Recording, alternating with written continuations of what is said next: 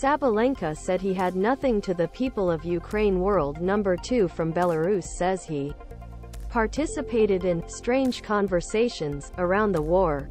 Belarus Aryna Sabalenka said that Russia struggled to understand hatred gi in locker room in midst of tense relations between some players after occupation of Ukraine.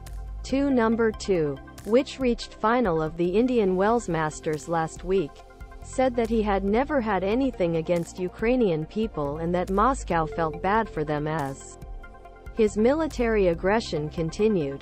Belarus allowed Russian allies and troops to use their territory to start the occupation last year. It was a staging area for Moscow's special military operation. 24-year-old Sabalenka said, It was really hard for me because I have never encountered such hatred in the locker room.